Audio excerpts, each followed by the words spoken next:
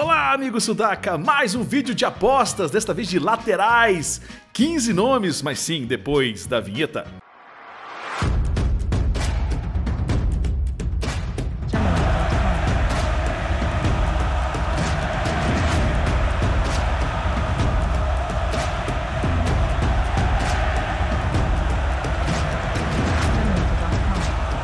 Olha eu aqui de novo para mostrar para vocês mais 15 nomes de apostas do futebol sul-americano, lógico sem contar o futebol brasileiro, e 15 laterais de direito e esquerdo, beleza? Então confere aí. E começamos com Agustin Jai do São Lourenço de Almagro, de apenas 19 anos. Este lateral direito é uma das grandes promessas do futebol sul-americano e mundial nessa posição. Jai mostrou em pouco tempo muito potencial em futebol, tem qualidade na defesa, com boa antecipação, marcação e posicionamento e tem grande habilidade para um bom controle de bola e subidas ofensivas. Já impressiona e joga como ala no Ciclone de Gadiego em sua e foi titular na, na Argentina Sub-20 no Mundial. Vai longe esse PIB, Agustin Jai!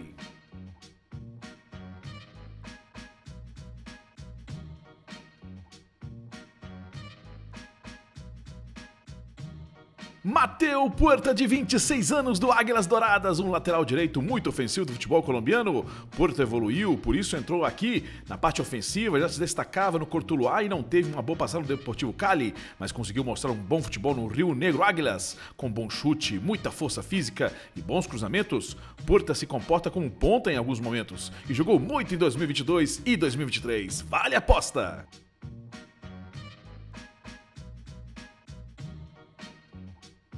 Opa, opa, opa! Se eu cheguei aqui e interrompi seu vídeo é porque o Twink pediu like. Se inscreva no canal e toque na campainha. Sempre que chegar vídeo novo no Sudaca Brasil com mais apostas, vai tocar a campainha para você. Alexis Canteiro, este lateral esquerdo do Guarani do Paraguai, é o que menos jogou dessa lista, tem apenas 19 anos. Começou a ganhar espaço nesse semestre com Rodrigo Lopes e mostrou grande categoria. Pode evoluir na força e no posicionamento, mas esse canhotinho é muito habilidoso, ataca muito bem. Pode evoluir também na marcação, mas tem muita velocidade e pode recompor bem. Já foi convocado para a seleção principal, uma aposta interessante.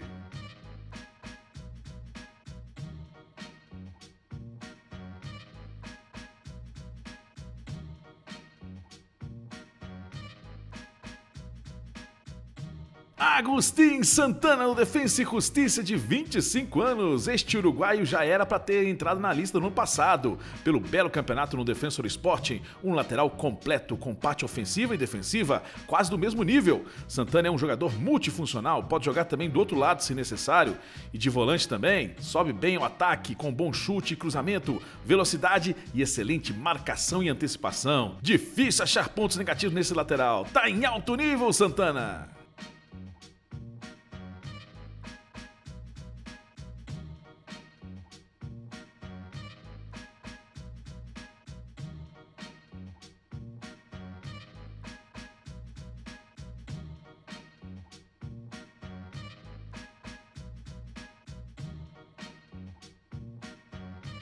Gaston Benedetti do Estudiantes da La Plata de 22 anos, um lateral esquerdo com grande temporada, tem jogado mais como ala no Rata e quando sobe mostrou ter grande qualidade, evoluiu muito na marcação, mas seu lado ofensivo mostra ter grande chute, velocidade, bons cruzamentos e bom posicionamento, uma grata revelação.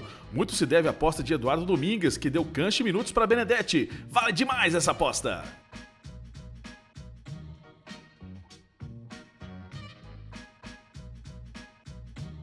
Daniel Londonho, do Independente Medellín, de 28 anos. Este lateral esquerdo colombiano é um dos mais velhos dessa lista. Mas vou explicar, porque tinha 21 anos quando estava no seu auge, seleção colombiana, e jogando no Atlético Nacional. Foi pego com uma substância proibida no seu corpo e foi suspenso por 4 anos, amigo.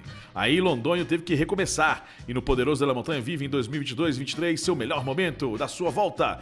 Que bom ver esse belo chute força física jogando bem de novo. Às vezes comete algum erro, mas Londonho se destaca nessa posição. Ele ele merece uma segunda chance. Joaquim Gutierrez do Huachipato de 21 anos. Este lateral direito chileno está jogando bem nos acereros e tem chamado a atenção de grandes do Chile de fora. Joaco tem potência física, bom passe, boa visão de jogo. Sua marcação também destaco aqui, sabe proteger seu corredor e pode melhorar nas subidas ao ataque, usando mais a linha de fundo, mas trabalha bem pelo interior. Boa aposta, Joaquim Gutierrez!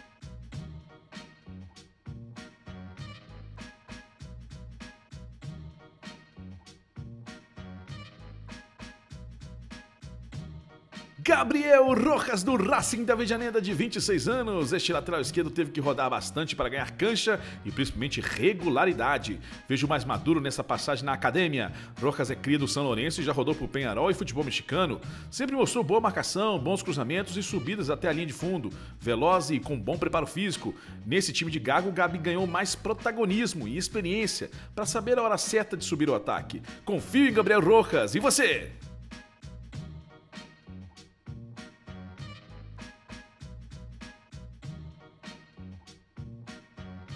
Não é Furtado de 25 anos do Cerro Largo. Este baixinho lateral direito tem mostrado grande futebol nesses últimos anos e em 2023 está aparecendo mais ainda. Sempre foi um bom lateral na época de Atenas e Progresso.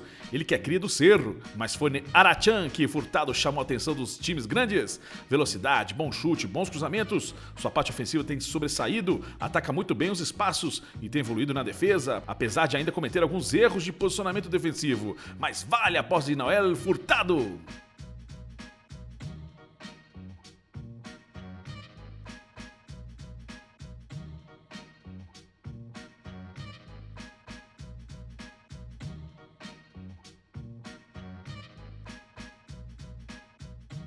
Valentim Barco, de apenas 18 anos, mais um das canteiras do Boca e já frequenta time titular dos tienenses. Garoto muito habilidoso e impetuoso, parte para cima mesmo no um contra um, se comportando como ponta quando vai ao ataque. Pode evoluir na parte defensiva, até porque Colorado tem apenas 18 anos, amigo, e tem sido utilizado até como meia aberto ou ponta no time de Almirão em alguns jogos. Se evoluir no posicionamento e marcação e as escolhas certas na saída de bola, pode se tornar titular na lateral esquerda da seleção argentina no futuro, hein, amigo? Eu apostaria.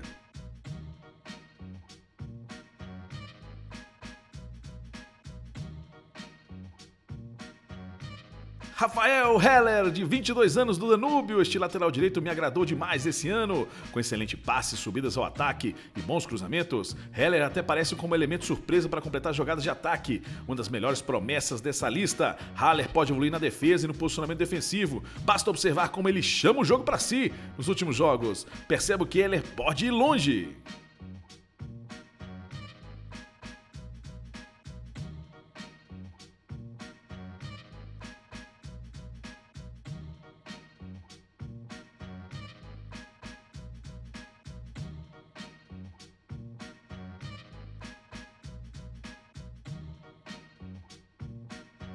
Malcolm Braida do São Lourenço, de 26 anos, este lateral esquerdo, mas que pode jogar de volante ou extremo, é um dos grandes destaques dos Cuervos nessa temporada. Já tinha futebol regular antes, mas com Gadigo em sua só melhorou.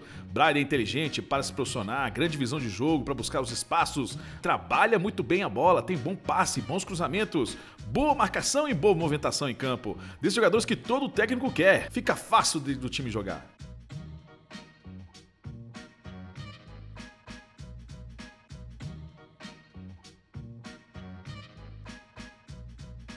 Luiz Pavés Munhoz, da União Espanhola, de 27 anos. Este bom lateral esquerdo que pode jogar como extremo, já se destacou alguns anos nos hispanos, foi vendido para o México e não foi bem. E retornou e volta a fazer uma boa temporada. Pavés já mostra há algum tempo que tem habilidade com a bola, carrega bem ela, tem bom chute, bons cruzamentos e faltava mais dinamismo e trabalhar mais a parte defensiva e vem melhorando nesse último requisito. Pavés é diferente e vale mais uma chance para esse bom lateral esquerdo.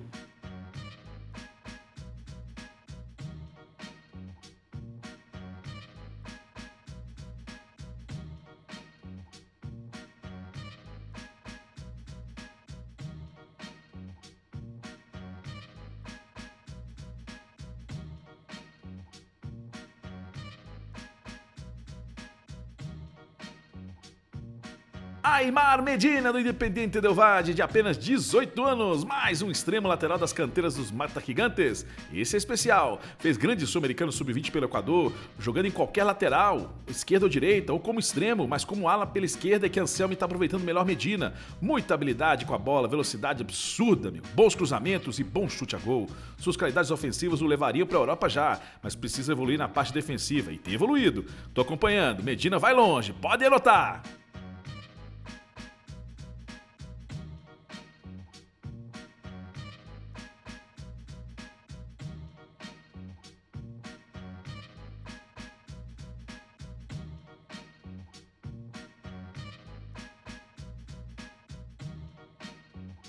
Gabriel Dias Nunes do Sarmiento de Jurim. Este lateral esquerdo de 23 anos é uma grata surpresa que comecei a acompanhar há pouco, mas vejo muito potencial nesse baixinho. Veloz, bom cruzamento, bom chute ao gol. Pode evoluir no posicionamento defensivo, mas quando vai ao ataque tem se destacado. Nos verdolagas dessa temporada, Gabriel teve uma lesão, mas já voltou com tudo. Pode observar Gabriel Dias Nunes.